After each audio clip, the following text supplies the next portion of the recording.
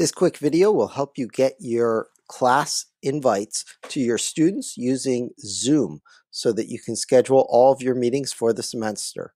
So what I'm going to do is I launched Zoom and I went over to my Google Calendar. So in Zoom, I'm going to hit this little plus button to schedule a meeting. And I'm going to give this meeting my class's name. And for me, I'll call it class meeting and I will assign it a date, which is going to be the first day it meets, and I will give it the correct time.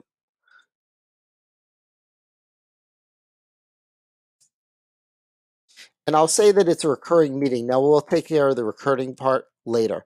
I like the generate automatically meeting ID because I don't want to reuse my personal meeting ID, but that's up to you, your choice. I like to leave this passcode turned on if you want, you can have a formal waiting room. I don't think it's necessary uh, for a class. It's better for large webinars. I like to turn video on. You want your participants, your students to be able to use video and you want you to be able to use video. You can always turn it off individually later on. Um, I want my students to have the option to to use telephone or computer audio in case they get close and we're all using Google Calendar so we're going to choose that. Under advanced options, I'm going to allow the students to join before me. So if I'm running late to class, they can come in and touch base with each other. Um, personally, I like that option. Some people might want to lock that down. I also like to automatically record my meetings. And if you choose in the cloud, it's going to go to Panopto. Uh, those video recordings are not going to be shared with anyone except for you initially. So you can change them later to share them with the class, including editing them down. So I've become comfortable editing in Panopto, so I just rather record the whole session. But if you want to individually record part of your class and control it right from Zoom, you could choose to not leave this enabled. I'm choosing to leave it enabled because I'll forget to record class. So this way I can't forget to record class and I'll edit it down later. Okay, let me hit save here. It's going to bump me over to Google Calendar with this invite up. And you can see it's not a repeating event yet. So I'm going to change it to a repeating event and I'm going to use custom because my class meets Mondays and Thursdays at that time. And I need to say when is the end. So I looked already and the last day of week 15 is the 13th.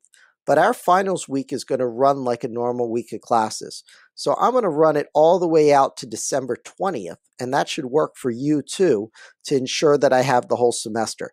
Now that's not going to work for Thanksgiving, so I'm going to have to cancel Thanksgiving's class, but that's okay.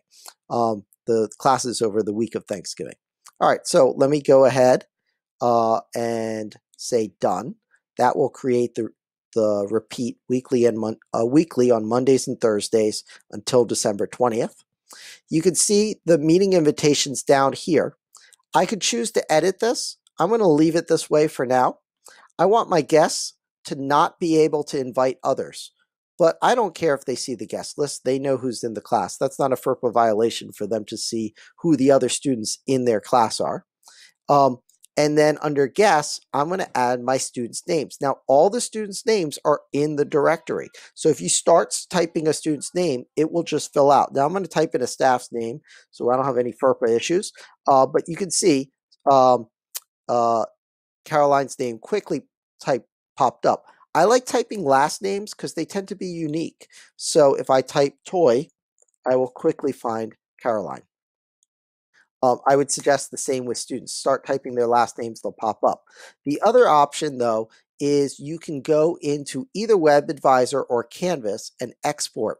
So in Canvas, if you export your gradebook, you could select the entire column of email addresses and just cut and paste it right in here. You only have to do it once because remember, we're creating a repeating event for the whole semester.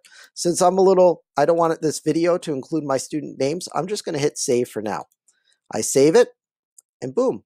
If I look out in late August, I'm going to get all my class sessions are going to get put in this calendar, which is going to be awesome, right? And here they all are, um, including all the meeting invitation information.